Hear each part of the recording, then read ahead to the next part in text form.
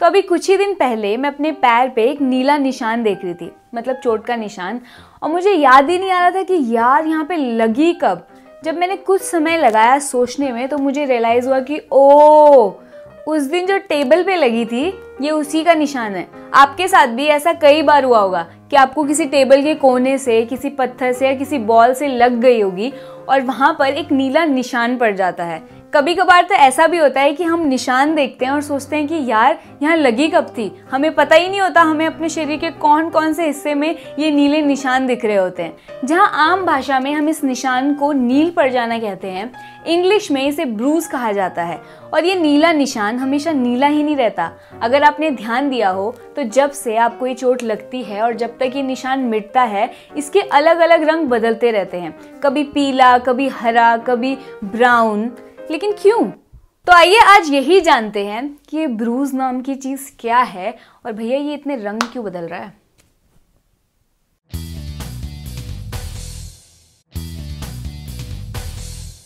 जब आपको अपने शरीर पे इस तरह का कोई नीला निशान दिखता है, इसका मतलब ये होता है कि वहाँ पे मौजूद कैपिलरीज आपकी कैपिलरीज टूट गई हैं।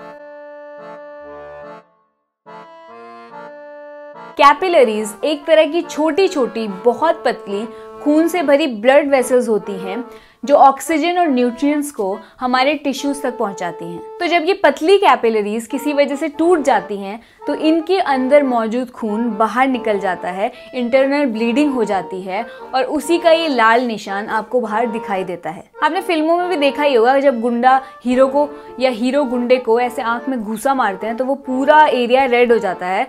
इसका मतलब यही होता है कि भैया उन्होंने आपके आँख के एरिया की जो कैपिलरीज हैं, वो सारी तोड़ दी हैं और अंदर खून फैल गया है।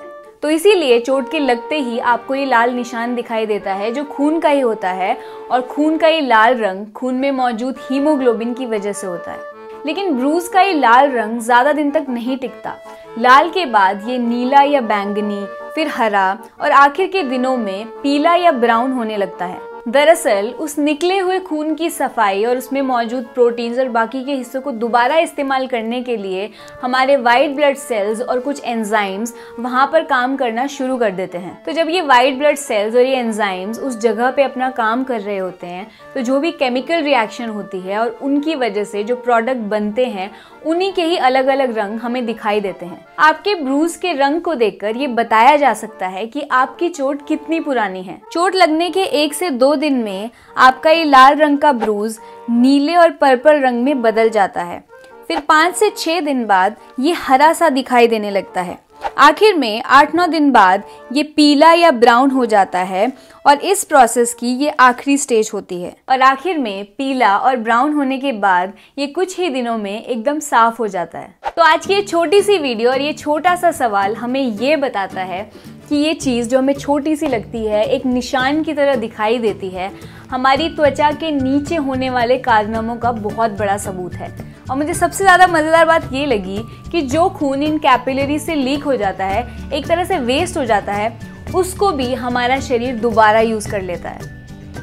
तो अगर आपके दिमाग में भी ऐसे ही छोटे बड़े सवाल घूमते रहते हैं तो प्लीज़ कमेंट सेक्शन भर दीजिए आप अपने सवालों से, अपनी एडवाइस से।